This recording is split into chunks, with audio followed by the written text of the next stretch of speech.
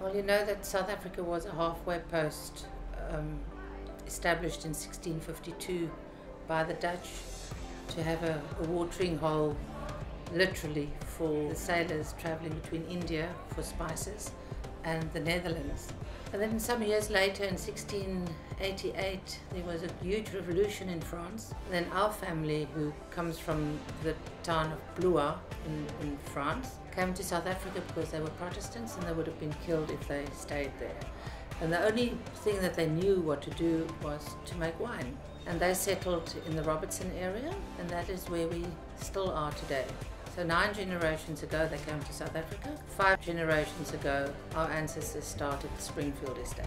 So we've got a, a couple of uh, different influences, and I think it's like us working with wild yeast. All these influences really brings nice complexity at the end of the day.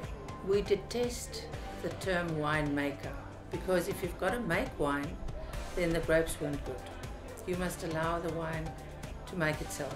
I think it's about almost being like a chef. So as a philosophy is to make each dish the best you can, not to repeat your dishes, to make everyone different, and to really express the individuality of the soil, but also of you as a person. We have huge old glaciers that came down from the mountain, and through the years, the little bit of rain that fell washed the topsoil away.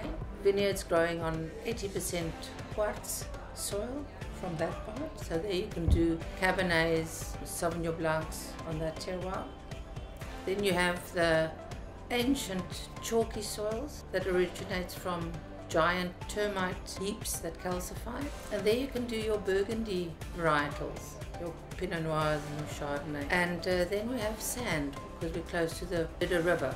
If we have a flood, then those vineyards are completely covered by water. That happens in winter and then the, the, there's very little or no damage done to the plant because the plant is dormant, it's not alive.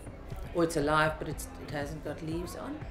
And it brings alluvial sandy soil. So you've got these different soils to work with so you are able to grow different vines on different terroir.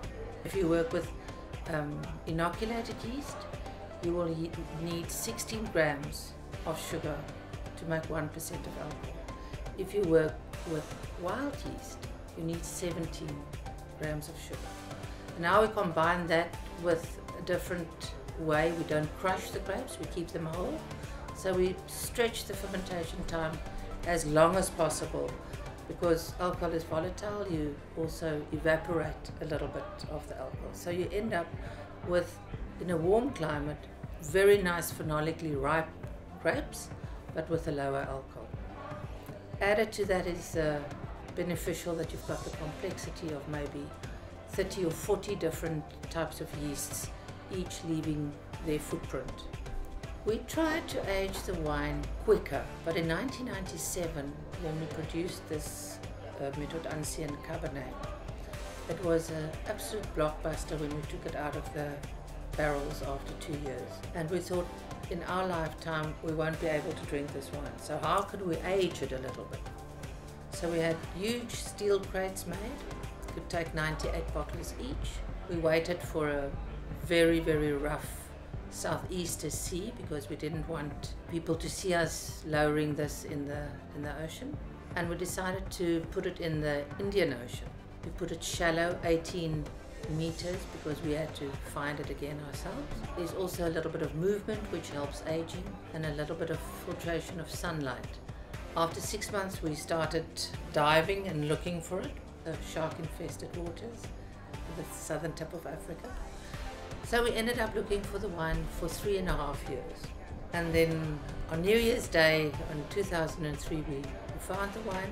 But that's, that's the lifestyle of, of winemaking.